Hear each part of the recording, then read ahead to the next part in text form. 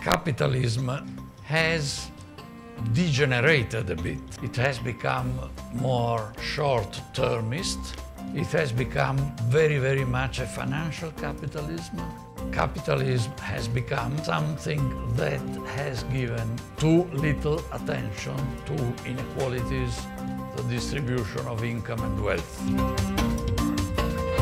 Maybe Europeanism will find a new energy, a new spirit, a new motivation when it will have not to proceed through inertia, but to motivate each action in favor of Europe in a more rigorous